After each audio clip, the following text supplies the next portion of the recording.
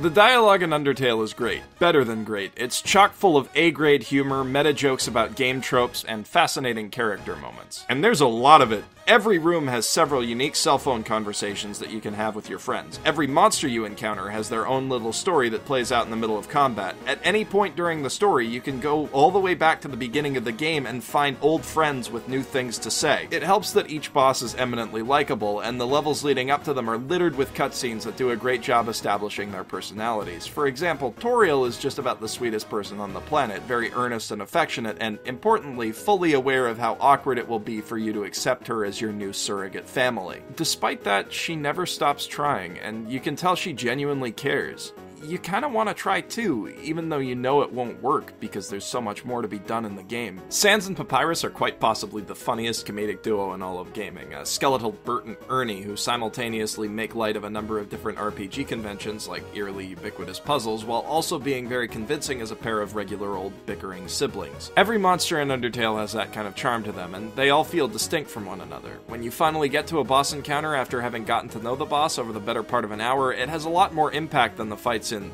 well, pretty much any other RPG. Every moment in each area builds up to that final test, be it a test of your power or a test of your character. These fights really do carry the same weight as the final confrontation in Mother 3, especially in how you endure each enemy's attacks while trying to break through to them with unflinching compassion. But Undertale distinguishes itself from Mother in that it makes every character redeemable. There's no dramatic need for any storyline to end in tragedy. Once the fight is over, you can make up and become friends. The game even lets you hang out with the characters after the fact, and these dating segments make for some of Undertale's funniest and most memorable scenes. Even after the last boss, the game presents an opportunity to go back and talk to everyone you met along the way. It's these scenes, along with the dozens of little interactions leading up to them, that allowed the pacifist ending's final encounter to reduce me to a gibbering puddle of tears. The writing quality is obviously the most important factor in making that happen, but to praise it alone would be to sell Undertale's presentation short. Despite being low res, the game's graphics are expertly made with great animations that convey character emotions and can even get a laugh in just a few frames. Undertale doesn't ask you to imagine the world its systems and simple graphics represent. The world as you see it is meant to be real. Characters speak in dialogue boxes, which they'll occasionally edit themselves, and react to on screen graphics because that's just the way their world is. They really live in an 8 bit ish RPG. It's surprising just how much more effective this is at getting you to identify with the characters than games with more realistic high res graphics. The other big factor is, of course, the music. Before he was a game designer, Undertale's creator Toby Fox was known for his Earthbound remixes and his original compositions for MS Paint Adventures. He is a supremely talented musician, and Undertale puts all of his abilities to the test. There are many games with impressively catchy or atmospheric tracks, and between Spear of Justice and the True Lab, Undertale has its share of both, but few do such genuinely inspired things with composition and execution. For example, Home, the track that plays in Toriel's house, has a very cozy feel to it, but the fumbling, mistimed notes reflect both the awkwardness of the situation and how hard she's trying to make it work anyway.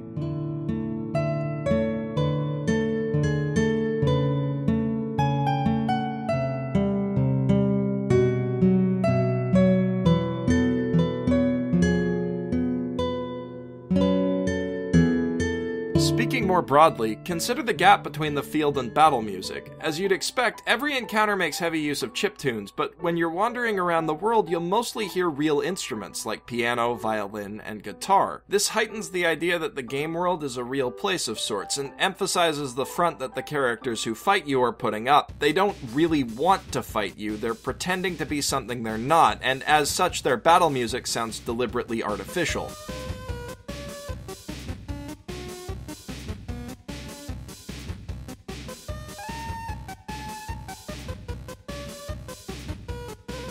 You can see the difference in the fights where they genuinely want to kill you. Undyne and Sans battle tracks in the Genocide run, for example, blend real instruments and chip tunes.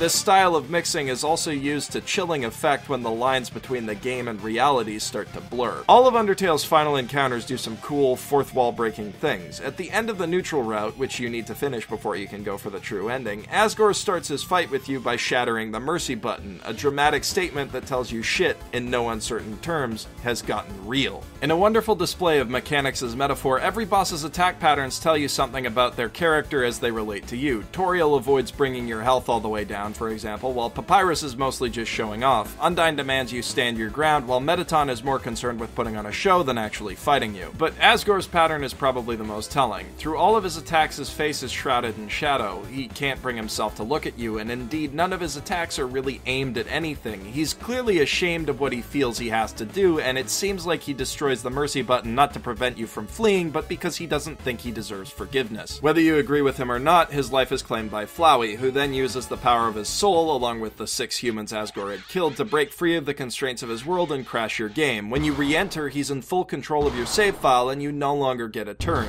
The game becomes pure bullet hell. The retro graphic style is also completely undone. Flowey stitches his new self together from real pictures to jarring effect. It leaves a similar impression to the unique art styles of the witches in Madoka Magica. In addition to royally fucking with you, the battle serves to finally establish Flowey's true character. Sadistic, unfeeling, and seemingly remorseless, he doesn't even understand love, so breaking through to him seems impossible, but when you beat him, you can spare him anyway, and he will remember it just like everything else that happens between save files. After the credits roll, he'll call you up to hint at what you need to do to get the true ending, and between that and the battle, you see a hint that maybe he could one day be saved, even without a soul. I mean, the call is designed to trick you into gathering all your friends' souls together for him, but there's still a bit of sentiment behind it. See, like every other boss monster, Flowey has a number of scenes that help you to understand him, it's just that they take place across multiple playthroughs. After finally befriending Alphys by witnessing the full reach of her mistakes, which are so bad that they drag the game into horror territory, and accepting her anyway, you're at last ready, emotionally and in terms of the game's script, for one last fourth wall shattering showdown with Flowey. And it is everything that the climactic encounter of a game this amazing should be. Flowey takes the soul of every other monster and returns to his true form, Asriel Dreemurr, Toriel and Asgore's long dead son. The depths of his loneliness start to become clear. This is a kid totally disconnected from his world who reloaded every possible outcome of his every decision until the people started to seem like programs. Only you, as a player seeing the underground from the outside and through many different save files, can hope to understand that. Asriel declares that he will reset the world over and over to keep letting the same events play out, and he taunts that you'll play right into his hand. Leaf? Out of your desire for a happy ending. But the game gives you every tool you need to prove him wrong. The strength of your determination is such that you don't even revert to old saves, you just straight up refuse to die. Using your hopes and dreams, literally, you can stave off his attacks until he gets serious and starts turning your friend's power against you. This, for me, is where the waterworks start. With their souls stolen, your friends revert to the closed off mentalities they had when you first fought with them, and it's up to you to break them out of their funk. You can no longer access your save files, but you can save your friends by triggering their memories. Tell Sans a crappy joke to Papyrus's dismay, get Alphys rambling about her anime and encourage her to overcome her self defeating attitude. Hit Undyne with an affectionate fake punch. Give Asgore a hug, slowly they all start to remember you. What gets me is that these moments, which I remember because they were so funny and enjoyable and weirdly human, are as important to the characters as they are to me. This funny little game, this game that remembers everything you do, cherishes your shared memories. And all of that resonates within Asriel. He starts to care again after so many years of playing without feeling anything. Asriel cries, I cry a little, and then he says something that makes me cry a lot. Monsters are weird even though they barely know you, it feels like they all really love you. That rings true to me. I love a lot of games, but this is the only one that feels like it loves me back. In real life, obviously, the game doesn't really remember or feel anything, but the creative team behind it does. Toby Fox clearly has a lot of love for the games he's spoofing and emulating, and these characters that he's created. And from his care and attention to detail, it seems like he has a lot of love for his players, too. That probably sounds silly. I want to say more about Undertale. Part of me never wants to stop talking about it but anything else I say from this point forward, it's just going to be more rambling. This game is a brilliant achievement in design and writing. It's the first media thing I think, ever that has made me cry without killing off a main character, and it's definitely the first game I've played that has made me laugh and cry and feel genuine terror all within the space of an hour. This is a game that I want to replay over and over again, but out of respect for Undertale and respect for myself, I don't think I'm ever going to touch the save file again. This game really meant something to me. And I want to know what it meant to you, so please leave a comment telling me about your experience with the game and let's have a conversation about it because this is a game that's worth talking about.